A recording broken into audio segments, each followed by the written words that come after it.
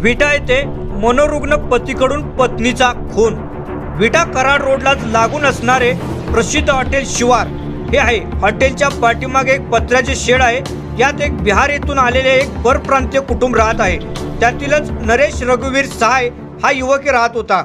अलीकडे तो सारखा आजारी असतो याची माहिती परिसरातील नागरिकांनी बिहार येथे राहत असलेली त्याची पत्नी लिलावतीला सांगितली. ती तात्काळ आपल्या तीन मुलासह आपल्या पतीला नेण्यासाठी आली होती.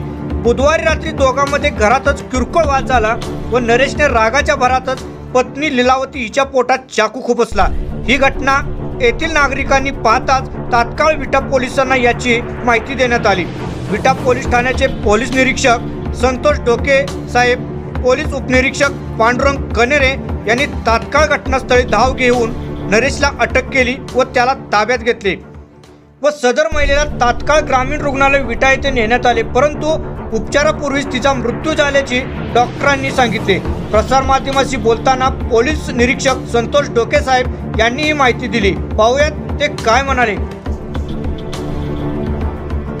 आज रोजी विटा शहरामध्ये विटा कराड रोड येथील हॉटेल शिवारच्या पाठीमागे नरेश रोहित साहब वय छत्तीस वर्ष राहणार गोपालगंज बिहार याने आपल्या पत्नीस घरगुती कारणावरून मारहाण करून चाकूने बसले त्यामध्ये त्याची पत्नी लीलावती देवी नरेश साहब बत्तीस वर्ष ही यामधील आरोपीला तात्काळ मी ताब्यात घेतलेला आहे. या गुन्ह्यात